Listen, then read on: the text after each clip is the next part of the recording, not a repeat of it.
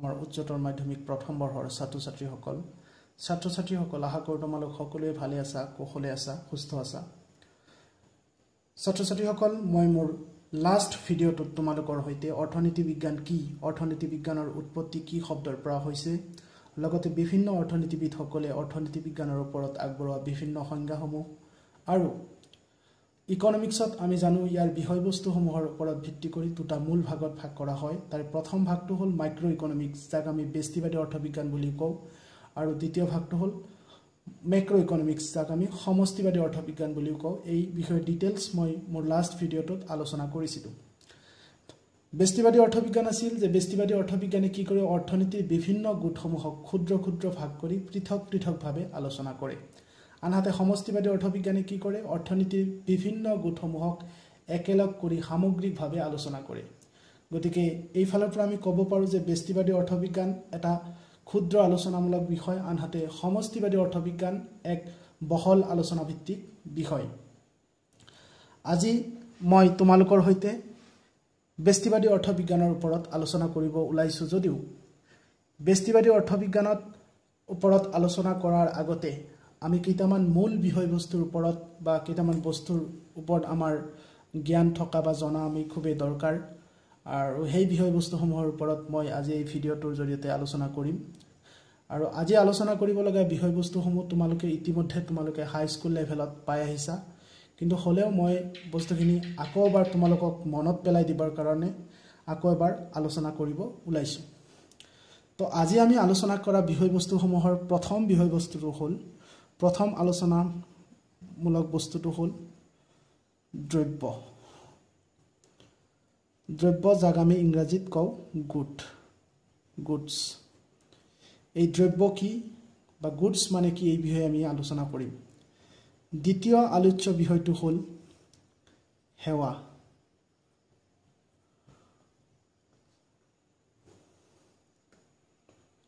যাক আমি ইংৰাজীত কওঁ ছাৰ্ভিচ। তৃতীয় আলোচ্য বিষয়টো হ'ল আমাৰ সম্পদ। যাক আমি ইংৰাজীত কওঁ ৱেল্থ নেক্সট আলোচনা কৰিব লগা বিষয়টো হ'ল বাছনিৰ সমস্যা।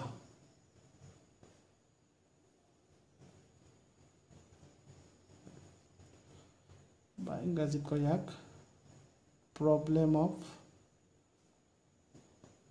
চইচ আৰু লাষ্ট আলোচনা কৰিব লগা বিষয়টো হ'ল অৰ্থনীতিৰ কেন্দ্ৰীয় সমস্যাসমূহ।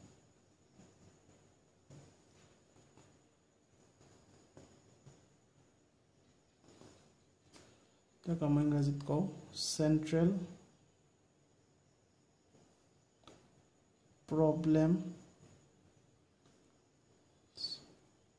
of a economy অৰ্থনীতিৰ কেন্দ্ৰীয় সমস্যাসমূহ। প্ৰথমে আমি আলোচনা কৰিম দ্ৰব্য যাক আমি ইংৰাজীত কওঁ গুডছ গুডছ মানে ইকনমিক্সৰ গুডছ মানে ভাল নহয়। ভাল যোনটো সাধাৰণ গুড গুড বুলি ক'লে আমি ভাল কওঁ সেই ভাল নহয়। ইকনমিক্সৰ ক্ষেত্ৰত গুডছ মানে হ'ল দ্ৰব্য। নেক্সট আহিল আমাৰ সেৱা যাক আমি ইংৰাজীত কওঁ ছাৰ্ভিচ নেক্সট আলোচনা কৰিম আমি সম্পদ যাক কওঁ আমি ৱেল্থ বা ৰিচৰ্চ বুলিও কওঁ ইয়াক আমি। নেক্সট আলোচনা কৰিম বাছনিৰ সমস্যা যাক কওঁ ইংৰাজীত কওঁ প্ৰব্লেম অফ চইচ আৰু লাষ্ট হ'ল আলোচনা বিষয়টো হ'ল অৰ্থনীতিৰ কেন্দ্ৰীয় সমস্যাসমূহ বা যাক আমি ইংৰাজীত কওঁ central problems of an economy তো প্ৰথমে আমি আলোচনা কৰিব ওলাইছোঁ দ্ৰব্য। যাক আমি ইংৰাজীত কওঁ গুডছ দ্ৰব্য মানে কি? চোৱা মই সংজ্ঞাটো কেনেদৰে আগবঢ়াইছোঁ? যিবোৰ পদাৰ্থক আমি স্পৰ্শ কৰিব পাৰোঁ আৰু যাৰ ব্যৱহাৰৰ ফলত মানুহৰ অভাৱ পূৰণ হয় তাক দ্ৰব্য বোলে। ইয়াতে কি কৈছে সংজ্ঞাটোলৈ ভালকৈ মনত কৰা কৈছে যিবোৰ পদাৰ্থক আমি স্পৰ্শ কৰিব পাৰোঁ। পদাৰ্থ মানে ক'লে আমি বুজি পাওঁ যে যিবোৰ বস্তুক আমি কি কৰিব পাৰোঁ টাচ কৰিব পাৰোঁ চুব পাৰোঁ হাতেৰে। আৰু যাৰ ব্যৱহাৰৰ ফলত মানুহৰ অভাৱ পূৰণ হয়। আৰু সেই স্পৰ্শ কৰিব পৰা বস্তুবিলাক মানুহে ব্যৱহাৰ কৰিলে। মানুহৰ কি পূৰণ হয়? অভাৱ পূৰণ হয়। তাক কি বোলে? দ্ৰব্য বোলে। যে যিবোৰ পদাৰ্থক আমি স্পৰ্শ কৰিব পাৰোঁ আৰু যাৰ ব্যৱহাৰ কৰাৰ ফলত মানুহৰ অভাৱ পূৰণ হয় তাক দ্ৰব্য বোলে এতিয়া আমি সাধাৰণতে জানো যে বহুত এনেকুৱা বস্তু আছে যোনবিলাকে আমাৰ অভাৱ পূৰণ কৰে। কিন্তু দ্ৰব্য হ'বলৈ হ'লে সেই বস্তুটোতো অভাৱ পূৰণ কৰিব পৰা ক্ষমতা থাকিব লাগিবই প্লাছ লগতে এনেকুৱা হ'ব লাগিব যাক আমি স্পৰ্শ কৰিব পাৰোঁ। যাক আমি টাচ কৰিব পাৰোঁ যাক আমি চকুৰে চাব পাৰোঁ। তেনেকুৱা বস্তু হ'ল দ্ৰব্য। যেনে উদাহৰণ দিছোঁ মই ইয়াতে কলম আৰু কাপোৰ ইত্যাদি হ'ল দ্ৰব্যৰ উদাহৰণ। কলম এইটো এটা পেন ই এটা দ্ৰব্য। কাৰণ ইয়াক আমি কি কৰিব পাৰোঁ? হাতেৰে চুব পাৰোঁ। আৰু লগতে ই আমাক কি কৰে? ই আমাৰ অভাৱ পূৰণ কৰি আছে। কাৰণ ইয়াৰ জৰিয়তে আমি লিখা মেলা কৰিব পাৰি আছোঁ। গতিকে ইয়াক আমি চুবও পাৰিছোঁ স্পৰ্শ কৰিব পাৰিছোঁ চকু দি চাবও পাৰিছোঁ আৰু ই আমাৰ অভাৱো পূৰণ কৰি আছে। গতিকে কলম হ'ল দ্ৰব্য। নেক্সট কাপোৰ কাপোৰ আমি হাতেৰে স্পৰ্শ কৰিব পাৰোঁ চুব পাৰোঁ। আকৌ কাপোৰে আমাৰ অভাৱ পূৰণ কৰি আছে। কেনেকুৱা অভাৱ পূৰণ কৰি আছে? কাপোৰ আমি পিন্ধোঁ। আমাৰ ঠাণ্ডা লাগিলে আমি কাপোৰ পিন্ধোঁ। গতিকে ই আমাক অভাৱ সেই যোনটো অভাৱ সেইটো পূৰণ কৰি আছে। কাপোৰৰ যি নিৰ্দিষ্ট কাৰণে মানুহে কাপোৰ পিন্ধে সেই অভাৱটোতো পূৰণ কৰি আছে। লগতে ইয়াক আমি কি কৰিব পাৰোঁ? আমি হাতেৰে চুবও পাৰোঁ চকুৰে মুনিবও পাৰোঁ। গতিকে কাপোৰ কলম এইবিলাক হ'ল দ্ৰব্যৰ উদাহৰণ। গতিকে আমি কি পালোঁ? দ্ৰব্য হ'বলৈ হ'লে কি হ'ব লাগিব? ইটো মানুহৰ অভাৱ পূৰণ কৰিবই লাগিব প্লাছ লগতে ইয়াক স্পৰ্শ কৰিব পৰা বিধৰ হ'ব লাগিব। অৰ্থাৎ যোনবিলাক বস্তু আমি হাতেৰে স্পৰ্শ কৰিব পাৰোঁ আৰু ইয়াক ব্যৱহাৰ কৰিলে যাক ব্যৱহাৰ কৰিলে মানুহৰ এটা নিৰ্দিষ্ট অভাৱ পূৰণ হয় তেনেবোৰ বস্তু কি বুলি কোৱা হয়? দ্ৰব্য বুলি কোৱা হয়। উদাহৰণ দিছোঁ মই ইয়াতে কলম কাপোৰ ইত্যাদি হ'ল দ্ৰব্যৰ উদাহৰণ। নেক্সট আমি আলোচনা কৰিব লৈছোঁ যে সেৱা যাক আমি ইংৰাজীত কওঁ ছাৰ্ভিচ এই সেৱা বা ছাৰ্ভিচ মানে কি? কৈছে যে যাক আমি স্পৰ্শ কৰিব নোৱাৰোঁ কিন্তু যাৰ ব্যৱহাৰৰ ফলত মানুহৰ অভাৱ বা প্ৰয়োজন পূৰণ হয় তাক সেৱা বোলে। দ্ৰব্যৰ ক্ষেত্ৰত আছিল যাক আমি স্পৰ্শ কৰিব পাৰোঁ। ইয়াতে কি কৈছে সেৱাৰ ক্ষেত্ৰত যাক আমি স্পৰ্শ কৰিব নোৱাৰোঁ ইয়াক সেৱাক আমি কি কৰিব নোৱাৰোঁ? টাচ কৰিব নোৱাৰোঁ। কিন্তু ইয়াক ব্যৱহাৰ কৰিলে যাৰ ব্যৱহাৰৰ ফলত মানুহৰ অভাৱ বা প্ৰয়োজন পূৰণ হয়। দ্ৰব্যৰ ক্ষেত্ৰত এনেকুৱা আছিল যে দ্ৰব্যক আমি স্পৰ্শ কৰিব পাৰোঁ প্লাছ ইয়াক ব্যৱহাৰ কৰিলে মানুহৰ অভাৱ বা উপযোগিতা পূৰণ হয়। কিন্তু সেৱাৰ ক্ষেত্ৰত অলপ ওলোটা যে সেৱাক আমি কি কৰিব নোৱাৰোঁ? তাক আমি স্পষ্ট কৰিব নোৱাৰোঁ হাতেৰে স্পৰ্শ কৰিব নোৱাৰোঁ চকুৰে মুনিব নোৱাৰোঁ চাব নোৱাৰোঁ। কিন্তু ইয়াক ব্যৱহাৰ কৰাৰ ফলত মানুহৰ উপযোগিতা বা প্ৰয়োজন প্ৰত্যক্ষ নাইবা পৰোক্ষভাৱে পূৰণ হয়। তাক কি বোলে? সেৱা বোলে। উদাহৰণ মই দিছোঁ যেনেকৈ ডাক্তৰৰ সেৱা ইণ্টাৰনেট সেৱা ইত্যাদি। যে এজন ডক্তৰে যেতিয়া পেচেণ্টক চাই ডক্তৰে যোনটো ছাৰ্ভিচ পেচেণ্টক দিয়ে সেইটো আমি চকুৰে মনিব নোৱাৰোঁ বা সেইটো সেৱা আমি চকু হাতেৰে স্পৰ্শ কৰিব নোৱাৰোঁ। বাট ডক্তৰে দিয়া সেই সেৱাটোৰ পৰা বেমাৰী বা ৰোগীজনে বেনিফিটেড হৈ আছে উপযোগিতা পাই আছে। তেওঁৰ অভাৱ পূৰণ হৈ আছে। ঠিক তেনেকৈ কৈছে যে ইণ্টাৰনেট সেৱা আজিকালিতো ইণ্টাৰনেট সেৱা ইণ্টাৰনেট কেনেকৈ ইণ্টাৰনেটে আমাক অনবৰত ছাৰ্ভিচ দি আছে। এই ইণ্টাৰনেটৰ যিটো যিটো ছাৰ্ভিচ হয়তো এই ছাৰ্ভিচটো আমি চকুৰে চাব নোৱাৰোঁ বা সেই ছাৰ্ভিচটো আমি হাতেৰে বা আঙুলিৰে স্পৰ্শ কৰিব নোৱাৰোঁ। কিন্তু ই আল্টিমেটলি আমাৰ অভাৱ বা প্ৰয়োজন ডাইৰেক্টলি আৰু ইনডাইৰেক্টলি আমাৰ অভাৱ বা প্ৰয়োজন পূৰণ কৰিব কৰি আছে। গতিকে এই যিবোৰ বস্তু বা যিবোৰে যিবোৰৰ অভাৱ যিবোৰে আমাৰ অভাৱ পূৰণ কৰে ঠিকেই বাট যাক আমি চকুৰে প্ৰত্যক্ষ কৰিব নোৱাৰোঁ বা হাতেৰে স্পৰ্শ কৰিব নোৱাৰোঁ। যাক কেৱল অনুমান কৰিব পাৰোঁ বা ফিল কৰি অনুমান নহয় অনুভৱ কৰিব পাৰোঁ ফিল কৰিব পাৰোঁ। তেনেবোৰ বস্তু কোৱা হয় ছাৰ্ভিচ যেনেকৈ ডক্তৰে পেচেণ্টক দিয়া সেৱা ইণ্টাৰনেট সেৱা ইত্যাদি হ'ল ছাৰ্ভিচ বা সেৱাৰ উদাহৰণ।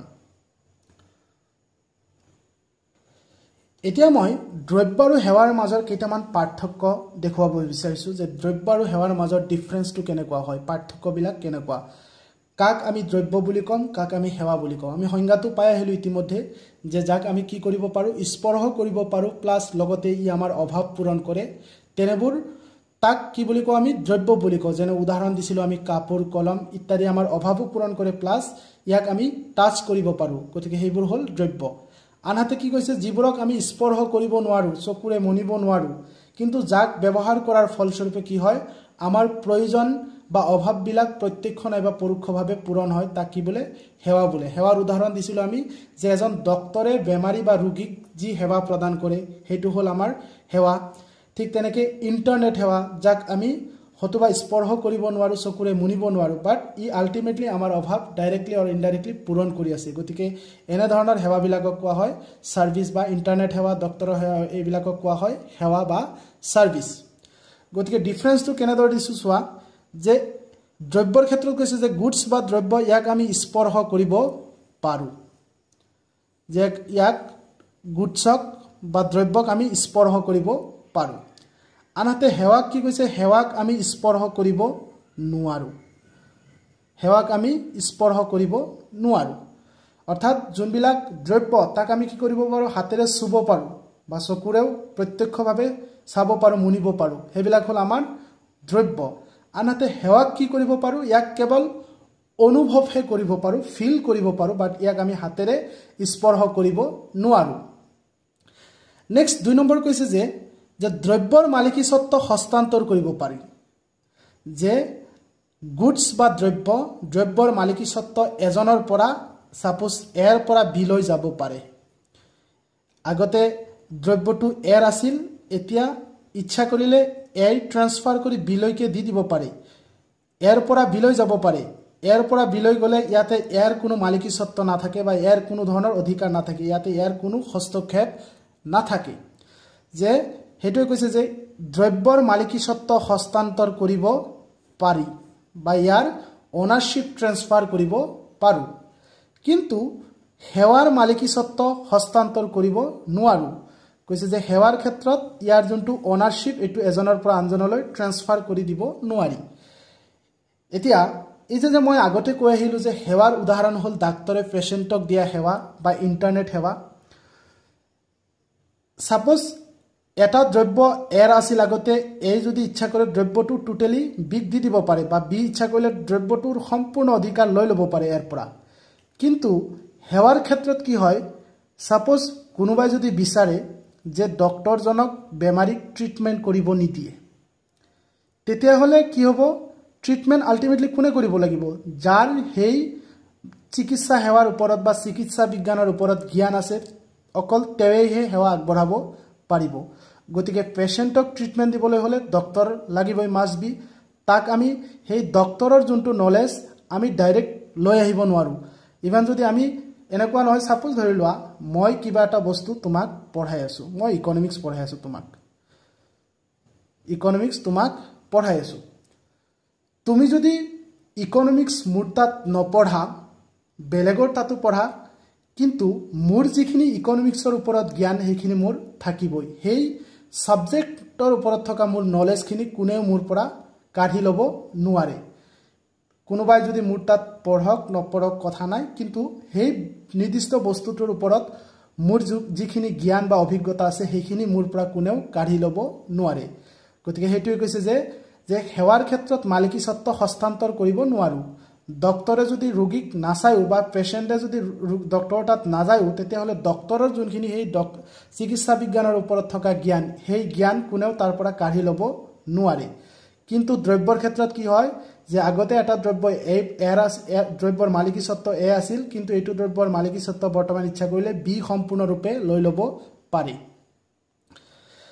নেক্সট উদাহৰণ দিছে যে দ্ৰব্য বা গুচ্ছৰ উদাহৰণ দিছিলোঁ আমি আগতেও কৈ আহিছিলোঁ যে কলম কিতাপ কাপোৰ ইত্যাদি হ'ল কলম কিতাপ কাপোৰ ইত্যাদি হ'ল দ্ৰব্য বা গুচ্ছৰ উদাহৰণ। কাৰণ এইবিলাকে আমাৰ অভাৱ পূৰণ কৰাৰ উপৰিও এইবিলাকক আমি কি কৰিব পাৰোঁ? হাতেৰে স্পৰ্শ কৰিব পাৰোঁ। আনহাতে সেৱা বা সেৱা বা ছাৰ্ভিচৰ উদাহৰণ আছিল যে ডক্তৰে ডক্তৰৰ সেৱা ইণ্টাৰনেট সেৱা এইবিলাক আমি কি কৰিব নোৱাৰোঁ? এইবিলাক আমি স্পৰ্শ কৰিব নোৱাৰোঁ কেৱল অনু অনুভৱহে কৰিব পাৰোঁ। গতিকে এইবিলাক আছিল আমাৰ সেৱাৰ উদাহৰণ। গতিকে আশা কৰোঁ তোমালোকে দ্ৰব্য আৰু সেৱাৰ মাজৰ ডিফাৰেঞ্চ পাৰ্থক্যখিনি বুজিব পাৰিছা। দ্ৰব্য মানে কি? যে যাক আমি স্পৰ্শ কৰিব পাৰোঁ লগতে ই আমাৰ অভাৱ পূৰণ কৰে তেনে যোনবিলাক বস্তু আছে সেই সকলোবোৰ কি হয়? দ্ৰব্য। আকৌ যিবিলাকক স্পৰ্শ কৰিব নোৱাৰোঁ বাট সেইবিলাকে কি কৰে? আমাৰ অভাৱ পূৰণ কৰিব পাৰে। ডাইৰেক্টলি আৰু ইনডাইৰেক্টলি আমাৰ অভাৱবিলাক পূৰণ কৰিব পাৰে তাক আমি কওঁ ছাৰ্ভিচ যেনেকুৱা ডক্টৰৰ ছাৰ্ভিচ ইণ্টাৰনেট ছাৰ্ভিচ তেনেকুৱা আৰু বহুত আছে। বেংকে কাষ্টমাৰক দিয়া ছাৰ্ভিচ বেংকে গ্ৰাহকক যি ছাৰ্ভিচ প্ৰভাইড কৰে সেই সকলোবিলাক সেৱাৰ ভিতৰত পৰে। এতিয়া আমি আলোচনা কৰিব লৈছোঁ ৱেল্থ বা সম্পদৰ ওপৰত যে ৱেল্থ মানে কি বা সম্পদ মানে কি ইয়াৰ ওপৰত আলোচনা কৰিব ওলাইছোঁ। সংজ্ঞাটো মই কেনেধৰণে আগবঢ়াইছোঁ চোৱা যে অৰ্থনীতিত সম্পদ বুলিলে সেইবোৰ দ্ৰব্য বা সেৱাক বুজায় যাক উৎপাদন কাৰ্যত ব্যৱহাৰ কৰা হয় আৰু যাৰ যোগান সীমিত। সম্পদে মানুহক উপযোগিতা প্ৰদান কৰে সম্পদক হস্তান্তৰিত কৰিব পাৰি। কি কৈছে যে অৰ্থনীতিত সম্পদ বুলিলে সেইবোৰ দ্ৰব্য আৰু সেৱাক বুজায় এতিয়া সম্পদ বুলি ক'লে ই দ্ৰব্যও হ'ব পাৰে নাইবা সেৱাও হ'ব পাৰে। কিন্তু কি হ'ব লাগিব যে সম্পদ বুলিলে সেইবোৰ দ্ৰব্য আৰু সেৱাক বুজায় যাক উৎপাদন কাৰ্যত ব্যৱহাৰ কৰা হয়। আমি জানো উৎপাদন মানে হ'ল কিবা এটা বস্তু ক্ৰিয়েট কৰা। যেনেকুৱা ধৰি লোৱা কিবা এটা বস্তু উৎপাদন কৰা যেনেকুৱা ধৰি লোৱা মিঠাই বনোৱা। মিঠাই বনোৱা মিঠাইটো হ'ল উৎপাদন। গতিকে মিঠাইটো আমি ক'ৰ পৰা বনাওঁ? মিঠাই বনাবৰ কাৰণে আমাক লাগে গাখীৰ চেনি লাগে। এই যে ইয়াতে কৈছে অৰ্থনৈতিক সম্পদ বুলিলে সেইবোৰ দ্ৰব্যৰ সেৱাক বুজায় যাক উৎপাদন কাৰ্যত ব্যৱহাৰ কৰা হয়। গতিকে গাখীৰ চেনি এই সকলোবিলাক হ'ল এইবিলাক হ'ল সম্পদ। আৰু এইবিলাক ক'ত ব্যৱহাৰ কৰা হৈছে? মিঠাই বনাওঁতে ব্যৱহাৰ কৰা হৈছে। মিঠাই উৎপাদন কৰাত এই গাখীৰ আৰু চেনিক ব্যৱহাৰ কৰা হৈছে। গতিকে সেইটোৱে কৈছে যে যাক উৎপাদন কাৰ্যত ব্যৱহাৰ কৰা হয় আৰু যাৰ যোগান সীমিত। এই সম্পদ বা দ্ৰব্য বা সেৱাবিলাক যেনেকুৱা গাখীৰ আৰু মিঠাই এইবিলাকৰ যোগান এনেকুৱা নহয় বোলে আনলিমিটেড একেবাৰে অসীম নহয়। এইবিলাকৰ যোগান লিমিটেড গতিকে ইয়াক যদি মই মিঠাই নবনাওঁ নবনাওঁ তেতিয়াহ'লে নিশ্চয় ইয়াক আমি বেলেগ কামতো ব্যৱহাৰ কৰিব পাৰিম। গতিকে সম্পদ সেইসমূহ বস্তু যাক উৎপাদন কাৰ্যত ব্যৱহাৰ কৰা হয় আৰু যাৰ যোগান সীমিত। সম্পদ মানে হ'ল ৰিচ'ৰ্চ মানে হ'ল কেঁচা মাল বিভিন্ন ইণ্ডাষ্ট্ৰীত যেনেকুৱা কেঁচা মাল কেঁচা মাল মালটো বুজিয়ে পোৱা যে এটা হ'ল এটা কথা আছে ইনপুট আৰু এটা হ'ল আউটপুট ইকনমিক্সত ইনপুট মানে হ'ল ধৰি লোৱা চেনি গাখীৰ আৰু এই চেনি গাখীৰ ব্যৱহাৰ কৰি আমি বনাওঁ মিঠাই গতিকে মিঠাইটো হ'ল আউটপুট গতিকে সেইটোৱে কৈছে যে যাৰ যাক উৎপাদন কাৰ্যত ব্যৱহাৰ কৰা হয় অৰ্থাৎ যোনবিলাক দ্ৰব্য বা সেৱাক আমি বিভিন্ন উৎপাদন কাৰ্যত ব্যৱহাৰ কৰোঁ অকল এইটো বুলি নহয় এইটো মই এটা উদাহৰণহে দিছোঁ যে যিবিলাক উৎপাদনক যিবিলাক দ্ৰব্য বা সেৱাক আমি বিভিন্ন উৎপাদন কাৰ্যত ব্যৱহাৰ কৰোঁ। আৰু আমি জানো যে উৎপাদন কাৰ্যত যোনবিলাক যিবিলাক ৰিচ'ৰ্চ আমি ব্যৱহাৰ কৰোঁ সেই ৰিচ'ৰ্চবিলাক এনেকুৱা নহয় বোলে এভাইলেবল একেবাৰে অসীম নহয়। সেইবিলাক একেবাৰে সীমিত সেইবিলাকৰ যোগান একেবাৰে সীমিত। নেক্সট কৈছে যে সম্পদে মানুহক উপযোগিতা প্ৰদান কৰে। উপযোগিতা ডেফিনেটলি প্ৰদান কৰে। কেনেকৈ প্ৰদান কৰে? ছাপ'জ মানুহে এইটো হ'ল আমাৰ মিঠাই ন? মিঠাই খালে মানুহে কিবা এটা উপযোগিতা পায়। ধৰি লোৱা বৰ্তমানৰ সময়ত লেটেষ্ট এক্সাম্পল বৰ্তমান গৰমৰ দিন। গতিকে আমাক চবকে কি লাগে? বহুত অত্যাধিক গৰমৰ কাৰণে আমাক ফেনৰ বতাহ লাগে। ফেনৰ বতাহটো মতলব আমি কিহৰ কাৰণে লওঁ? আমাক ঠাণ্ডা অনুভৱ ফিল এটা কৰিবৰ কাৰণে ফিল এটা ল'বৰ কাৰণে আমাক ফেনৰ বতাহ লাগে। গতিকে ফেনটো ঘূৰিলে আমি তাৰ পৰা বতাহটো পাওঁ। সেই বতাহটো পাই যিটো পাওঁ সেইটোৱে হ'ল আমাৰ উপযোগিতা। অৰ্থাৎ যিটো ছেটিছফেকশ্যন পাওঁ সেই ছেটিছফেকশ্যন বা ইউটিলিটি সেইটোৱে হ'ল আমাৰ উপযোগিতা। আকৌ কৈছে যে সম্পদক হস্তান্তৰ কৰিব পাৰোঁ। সম্পদক কি কৰিব পাৰোঁ? এঠাইৰ পৰা আন ঠাইলৈ লৈ লৈ যাব পাৰোঁ বা এজন ব্যক্তিৰ পৰা। ছাপ'জ এয়াৰ এয়াৰ আছিল আগতে সম্পদখিনি এতিয়া ইয়াৰ পৰা মই ইচ্ছা কৰিলে বিলৈ লৈ যাব পাৰোঁ। নাইবা ইয়াতে আছিল সম্পদখিনি ইয়াৰ পৰা আমি কি কৰিব পাৰোঁ? বেলেগ এটা জেগালৈ লৈ যাব পাৰোঁ। গতিকে সম্পদক স্থানান্তৰিত কৰিব পাৰোঁ। সেয়া মালিকেই হওক অ'নাৰশ্বিপো স্থানান্তৰিত মালিকৰ এজন মালিকৰ পৰা আন এজন মালিকৰ হাতলৈ যাব পাৰে বা এখন ঠাইৰ পৰা আন এখন ঠাইলৈ লৈ যাব পাৰোঁ। গতিকে সম্পদ কি পালোঁ? অৰ্থনীতিত সম্পদ সেইসমূহ দ্ৰব্য বা সেৱাক বুজায় যাক কি কৰা হয়? বিভিন্ন উৎপাদন কাৰ্যত ব্যৱহাৰ কৰা হয়। আৰু কি হয়? যাৰ যোগান সীমিত যাৰ যোগান লিমিটেড আৰু সম্পদে কি কৰে? মানুহক উপযোগিতা প্ৰদান কৰে। অৰ্থাৎ সম্পদসমূহ উপভোগ কৰি মানুহে তাৰ পৰা কি পায়? ইউটিলিটি বা কিবা উপযোগিতা পায়। যেনেকৈ মই উদাহৰণ দিলোঁ ফেনৰ। যে মানুহে গৰমৰ দিনত ফেন ফেন এইকাৰণে প্ৰিফাৰ কৰে কাৰণ ই আমাক এটা চেঁচা বতাহ দিয়ে যোনটো নেকি আমাৰ কাৰণে গৰম দিনত খুবেই লাগতিয়াল। গতিকে এই যে মই ফেনটো ঘূৰাৰ ফলত যোনখিনি বতাহ পালোঁ সেই বতাহ পাই যোনখিনি মই পিচ ফিল কৰিলোঁ সেইটো হ'ল মোৰ ইউটিলিটি বা উপযোগিতা। আৰু সম্পদক কি কৰিব পাৰোঁ? এঠাইৰ পৰা আন ঠাইলৈ হস্তান্তৰিত বা ট্ৰেন্সফাৰ কৰিব পাৰোঁ। নেক্সট আমি আলোচনা কৰিব ওলাইছোঁ যে বাছনিৰ সমস্যা বা প্ৰব্লেম অফ চইচ বাছনিৰ সমস্যা বা প্ৰব্লেম অফ চইচ মানে হ'ল যে আমি আগতেও আলোচনা কৰিলোঁ বা লাষ্ট ভিডিঅ'টোত আলোচনা কৰিছে কৰিছিলোঁ যে অৰ্থনীতিত সম্পদসমূহ কি হয়? সীমিত সম্পদ। সীমিত সম্পদ। অৰ্থাৎ এখন অৰ্থনীতিত বা দেশত যোনবিলাক ৰিচ'ৰ্চ আছে বা সম্পদ আছে সম্পদ মানে পাই আহিলোঁ আমি যে যাৰ কি হয়? যাৰ মানুহৰ অভাৱ পূৰণ কৰিব পৰা ক্ষমতা আছে আৰু যাক বিভিন্ন উৎপাদন কাৰ্যত ব্যৱহাৰ কৰা হয় যাৰ যোগান লিমিটেড যোগান যাৰ ছাপ্লাই একেবাৰে সীমিত। সেইবিলাকেই হ'ল সম্পদ। গতিকে কি হয়? সম্পদবিলাক সীমিত অৰ্থাৎ লিমিটেড ৰিচ'ৰ্চ লিমিটেড গতিকে ৰিচ'ৰ্চ লিমিটেড সম্পদবিলাক সীমিত হয় যদিও কিন্তু যদিও সম্পদ সীমিত আমাৰ অভাৱবিলাক আকৌ অসীম। আমাক মানে দিনে দিনে আমাৰ প্ৰয়োজন মানে বাঢ়িয়ে থাকে। যেতিয়া আমি আমাৰ মানে একোৱে নাছিল প্ৰথমতে যেতিয়া আমি খোজকাঢ়ি ক'বলৈ গৈছিলোঁ তেতিয়া আমাক এখন চাইকেল লগা আছিল। আকৌ আমাৰ চাইকেল হ'ল তেতিয়া আমাক কি লাগে আমাক? এখন বাইক লাগে। বাইক আমাৰ এভেইলেবল হৈ গ'ল তেতিয়া আমি কি কৰিম? তেতিয়া আমি ভাবিম মোৰ এখন মোক এখন কাৰ লাগে। কাৰ আকৌ হ'ল তেতিয়া আকৌ ভাবিম যে এখন দামী কাৰ লাগে। গতিকে আমি এইটো জানো যে ইকনমিক্সত যোনবিলাক ৰিচ'ৰ্চ অৰ্থাৎ সম্পদবিলাক সীমিত কিন্তু আকৌ এই সম্পদৰ এগেইনষ্টত যোনবিলাক আমাৰ অভাৱ এই অভাৱবিলাক মানে অসীম। অভাৱ আনলিমিটেড আজি মোৰ খোজকাঢ়ি ক'ৰবাত যাব লাগে মোক চাইকেল লাগে মোৰ চাইকেল হৈ গ'ল মোক বাইক লাগে বাইক হৈ গ'ল মোৰ কাৰ লাগে। গতিকে আমাৰ যোনবিলাক মানে প্ৰয়োজন প্ৰয়োজনবিলাক বহুত বেছি। কিন্তু সেই প্ৰয়োজন পূৰণ কৰিবৰ কাৰণে যোনখিনি ৰিচ'ৰ্চ বা সম্পদৰ প্ৰয়োজন সেইখিনি আমাৰ হাতত একেবাৰে লিমিটেড গতিকে এই আমি লিমিটেড ৰিচ'ৰ্চৰ সহায়ত আনলিমিটেড অভাৱবিলাক যেতিয়া পূৰণ কৰিব যাওঁ তেতিয়া কি হয় আমি এটা সমস্যাৰ সন্মুখীন হওঁ। সেইটো হ'ল বাছনিৰ সমস্যা বা প্ৰব্লেম অফ চইচ ধৰি লোৱা আজি তোমাৰ হাতত পাঁচশ টকা আছে। তোমাৰ হাতত বৰ্তমান পাঁচশ টকা আছে। গতিকে পাঁচশ টকা তোমাৰ হাতত আছে এইটো হ'ল তোমাৰ সম্পদ। এইটো কিন্তু লিমিটেড পাঁচশ টকা আনলিমিটেড নহয় পাঁচশ টকা। আমি ক'ৰবাত দুই এটা কামত খৰচ কৰিলে ই আমাক শেষ হৈ যাব। নাইবা এটা কামত মানে ইউজ কৰিলেও পাঁচশ টকাটো শেষ হৈ যাব। এই পাঁচশ টকাৰ এগেইনষ্টত তোমাৰ যোনবিলাক অভাৱ যদিও পইচা তোমাৰ হাতত পাঁচশ আছে কিন্তু তোমাৰ অভাৱ বহুত।